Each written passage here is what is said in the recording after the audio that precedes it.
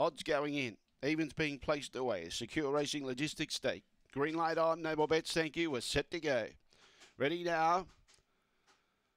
Away, Jitterbug from the inside began okay. Tarby began quicker. Favourite trying to push through Long Gully Dell. Cop the check. She goes back to second last placing. Dashing Hope gets past her and Oshkosh Wayne at the tail. Jitterbug out in front. Trying hard. Dashing Hope, the one that's been best back to beat the favourite, is stoking up and coming strongly now. Dashing Hope goes to Jitterbug. Jitterbug on the inside kicks. Jitterbug and Dashing Hope hit the line. Dashing Hope got up there on the outside to beat Jitterbug. Third was Long Gully Dell. That early check cost. Tarby was second last and the last home was Oshkosh Wayne, and the time was 23.14.